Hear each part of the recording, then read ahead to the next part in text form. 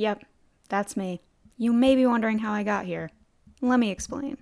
Impact. Alright, I love that the sun went away as soon as I sat down. Hello, um, what up? I'm back. Today I'm going to be getting ready for a day of staying at home um, and going nowhere. But I figured I don't really want to talk about this just sitting down talking to a camera, so I'm going to pretend like I am being on one of those, um, you know when people do their makeup, like celebrities, and they explain what they do and stuff? That's what I'm going to pretend like I'm doing because I feel like it makes it less uncomfortable for me to just talk to a camera. So that's what we're doing today. So hello, welcome back. Welcome if you're new. My name's Corinne. And today I'm going to be talking about being unemployed for about a year. In four days, it'll be, no, three days, it'll be exactly a year since I graduated college. And I'm still unemployed. You go get a damn job. Yeah. Let's just get into it, shall we? Let's do this. All right, we're just gonna put BB cream on because that's what you do. Uh, yeah, so I guess I can tell you my little story. Uh, before I start though, I do want to make a disclaimer that what I'm about to talk about, I want to acknowledge that I am very much privileged in the fact that I could live at home, not have to pay rent, be on my parents' health insurance, and not have to freak out about getting a job right away, um, like a, a full-time real job right away, um, because I did have support of my parents and I am so freaking grateful for them. Um, and I really don't know what I would be doing if I wasn't here. So I want to say that um, obviously not everyone can take this time, and so I want to acknowledge that and, and definitely speak on that first. So just a little disclaimer for you guys. So what I'm starting with is the Dream BB Cream for Maybelline because baby, it's Maybelline. Yeah, so I graduated a year ago and it was May of 2020, so obviously we were not able to have a real graduation. Um, and that did make me sad at the time. They actually just posted something on my university, I went to the University of Buffalo, and they posted something on their website talking about how they want to have a celebration for the class of 2020 in the fall. Um, I don't think I'm gonna go back to that if that happens. It just seems like it's been too long. yeah, my friends and I were talking about that. I mean, it's nice that they're doing it, but like, it's just been so long that I've just accepted the fact that I will never have a real graduation, and that's totally fine. So, graduated back then. What my initial plan was uh, about a year, almost two years ago, was that I was going to apply for my PhD. Also, I'm so sorry for the faces I'm about to make when doing my makeup. It's quite terrifying. I wanted to go for my PhD in political psychology, which is basically focusing on kind of the psychological roots of political behavior. Um, and so that has to do with voting, that has to do with candidate choice, that has to do with advertising for campaigns and things like that. I'm still very much interested in that. Um, however, I decided that in the beginning of fall of 2019 that I was not going to go right into a PhD program. And thank God I didn't because I am very up in the air about what I want to do with my future now um, in regards of education. However, I decided that. So then I realized that I was not prepared to find a job because I had not thought about finding a job right after college because I always thought I was going to go to school. I kind of freaked out and, you know, procrastinated applying to jobs because that's just what happened. So I started applying to jobs late in February of 20, uh, 29, no, 2020 I started applying to jobs for a May 2020 graduation. And to be honest though, when I'm looking back on it, like it wouldn't have really done much if I had looked earlier because a lot of people that I know who had looked earlier and got a job like lost that job. So it's not the worst thing. Um, so I applied to jobs, I didn't hear anything back, and I thought that was weird at the time, and now I'm so used to just not hearing back from companies after applying. Um, if you're looking for a job right now, you know that that's what happens. So I just didn't didn't uh, hear anything hear anything back, and I did get like one or two emails about companies being in a hiring freeze. So that that happened. So the world shut down in March of 2020. We all know. Um, and I moved back with my parents for about a month in March when like things were really bad and then they got worse, but I had to go back to Buffalo, so I was there for like a month and then I moved home. I've been home ever since. I redid my bedroom. I adopted a kitten, kind of delved into things that I hadn't looked at much in the past like four years, like YouTube and just like more creative projects, and I found that I really liked them. So that was summer, and summer I wasn't freaking out because I really wanted to move to New York. I still do, that's the plan. Um, I've lived in New York before, I've also lived in New Jersey, like right across the river, um, and so like I had commuted into the city, so like I'm, I'm well aware of the city. The reason I'm looking in New York is because there's more opportunities there for me. It's in the state that I live in, so I'm close to my family. A lot of my family lives on Long Island, so I can see them. And so, like, it's really just for opportunities and family that I'm moving to New York. Has anybody else realized over COVID that you just can't remember things as much? Because I feel like my memory is gone. It's it's non-existent. It wasn't great to begin with though, so I guess that's that's something. So that was the summer and I wasn't panicking because I was like, you know what, it's like we're still in a global pandemic, things aren't great, uh, and I really shouldn't freak out that much.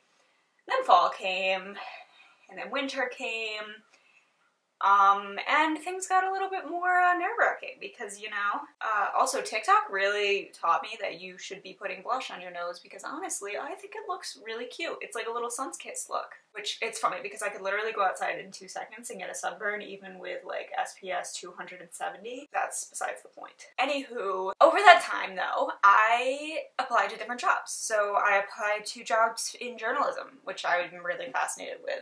I applied to jobs at universities. I've applied to like entertainment, the entertainment industry, um, within politics and without like outside of politics. Applied to like political places. I've applied to nonprofits. I've applied to many, many, many jobs. Um, and so I think if I didn't take this time, and it's funny, right? Because I talk about it like I have willingly taken this time, which I have not. This is literally like I'm just getting rejected from jobs. Um, which that's okay. And I don't feel uncomfortable talking about on YouTube because this is a reality and this is my life. This time that I didn't ask for has been very helpful and I've learned a lot. I've started a podcast with my best friend. You can check it out, Those Friends from College. We upload every Tuesday. I've created a website for myself, like a professional website, and I've learned more about political psych and I, have wrote, like written about it, and I've spent time with my family that I don't even think would have been possible if I didn't have this time. My family's very close, and so like I really do actually love being home and I love being with my family. I obviously want to move, but I do feel very comfortable here, and I think that's a good thing because I've been here for so long. Yeah, so here we are a year later, and there are many things that I've learned, and if you've gotten this far, you can learn about them too. One thing I learned is that colleges, not everyone, but most colleges, have a stigma against creative outlets. Now, it's different if you're going to college for a creative thing, but I think if you go to college for, okay, I went to college for psychology and political science, two very academic focus, academically focused disciplines. And I loved them. I loved what I learned. I, lo- I loved a ton of my professors. I learned a lot from them. But there was this constant push to either go into academia right after or well, really that was mostly the push. There was like a small push to maybe go work on a political campaign in my political science classes or I mean, that was it. Like, it was always academic. And so I really never thought to. Oh, I should mention, like, obviously in psychology, you can go into social work, or you can go into counseling, or you can go into consumer behavior, things like that. Uh, but the discipline that I was in, I was mostly focused on like social psychology and things like that. And so that was really focused on academics. Going into academia, that's what I mean. So, which nothing wrong with that, honestly. Like I know people who are getting their PhD right now and um, they love it or they they enjoy it. Um, and so, whoa, those are too long. Going back to academia and things like that, I was not taught or I was not advised about how many different things you can go into after college with a four-year degree from a good university. Am I mad about that? No, because realistically, I think the professors, like, obviously they've been in the discipline for a while and so they know that academia is a good route to go down with that kind of degree, and it is hard to get a job with just a bachelor's degree now. Which don't get me started on that because that's just like not everyone should go to college because like if you don't want to go to college and you think that you will thrive in a trade job or you think that you want to do something else and you don't want to go to college like that is so stigmatized and is ridiculous because there's so many good jobs that you can get without a college degree.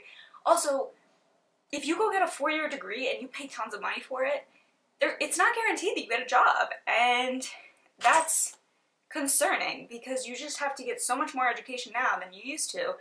And that's just a disadvantage to so many people. And that's also not what I've learned. But these are just rants that are coming to my head. Do I blame them for pushing academia on us? No, because A, they're biased. They're in academia, they know it worked. And B, it is like a smart choice. But it's not for everyone. So I do wish that I was advised and told about different opportunities that I could go into. I guess that's a lesson is like your professors and your advisors are going to tell you the best paths that you can go down and you should listen to them, but also like know that there's other things out there um, besides what they're talking about. You don't have to go into a certain field after college. You don't have to have a dream career. I don't know. Things change after college. You really reflect. Because lesson two, I would say, is if you have the chance to take time after graduation, whether you choose it or you don't, it will be worthwhile for something. You will learn, you will have the time to reflect on your life so far and what you enjoy and what you don't enjoy. So it's okay to take time off. Don't let anybody tell you that because you're taking time off, you are unqualified to go into a job or you are um, lazy or you, you know, you, you're choosing not to be employed. And I just think that's so unfair um, for people to say. And I've, I've heard it, like, I've seen many things, especially those people who talk about, like, I, I really have an issue with people that talk about things like willpower. And if you just had enough willpower, you would find that job or you would stick with that habit or you would get in shape or all those things. And like, that's just not healthy. So I definitely think taking time off was a blessing for me. Now, would it have been better if I had found a job like a while ago? Yes. Do I want a job? Yes. I am trying to see this time as a blessing because if I don't look at it like that, it's just not helpful. So I would definitely say that. And the third piece of advice, we talk about this on our podcast, by the way, so definitely check out our podcast. But the third thing, and we talk about this, is you are going to have a different path than every other person you graduated with. That's normal. That happens. You are not, we are not cookie cutter like pieces. Um, we all have a different path and you may take six months to find a job while your best friend or boyfriend or acquaintance or enemy or whatever finds their dream job right after college that doesn't mean that you're less than a than them. That doesn't mean you're less of a person than them. That doesn't mean you're less competent. Um, it just means that your path is a little bit different, and that's fine. We get so in our own heads, and I do it too, about comparing ourselves to other people, especially when it comes to career choices and career aspirations and successes. And if we just stop and think about the fact that people have little success Okay, my camera died. Um, but what I was saying is basically people have little successes in each day that like we may not acknowledge as successes, but they are successes. There are so many people in situations that aren't in the societal norm of where you're supposed to be at a certain time. And I see it so often where people post about how awful they feel because they're not doing what is expected of them. And they wouldn't be thinking that way if society told them that they were doing it wrong. So I've been listening to Matthew McConaughey's book, Green Lights. I got the audiobook, it's fantastic. Also, I can listen to Matthew McConaughey, and I don't know why his voice is so soothing, it just is. But he talks about green green lights, yellow lights, and red lights. He says that there's a lot of green lights, right? Positive things. But we also have yellow lights that are kind of like warnings, like mm, maybe you shouldn't do this. Or you have red lights so, like, you get a job rejection, for instance. That red light, that job rejection, may just be pushing you towards that opportunity that you couldn't even see at that time. But over time, maybe it be a month from now, maybe it be six months from now, maybe it be 10 years from now, you realize that that job rejection pushed you into the life that you really wanted. Look, I am not an optimist by any means. Um, I'm actually a, uh, I'm, I'm, I would say I'm like 50-50 pessimist and optimist. It's a good place to be when you're living on this earth that we live on. So I'm not going to say that I am constantly this positive person who thinks like this, but I do think that's a good lesson to have that not every red light is necessarily a bad thing. Um, it may just be pushing you towards a beautiful green light that you'll hit at some point. I feel like I have transformed as a person over this time. My college self, when I graduated, is not nearly the person that I am now. And the person I am now is not going to be the same person I'm going to be in a year. But I definitely think that this time, though extremely hard and extremely draining and discouraging, has been one of the most important things that has happened in my life because I have just learned so much. Though my life not may not be what you would want for your life and what society would say that you would want for your life, and I may be seen as a college graduate failure. I don't know. Um, I don't see myself as that though, and my family and my friends don't see me myself as that. So I don't really give a shit. so yeah, I am living my own life. I'm figuring out my own path, and that's good enough for me. That's it for today. I need to like get off this philosophic talk. Well, thank you for listening to me. If you gotten uh, if you gotten this far in the video, uh, thank you. You're great. And yeah, I will see you guys next week.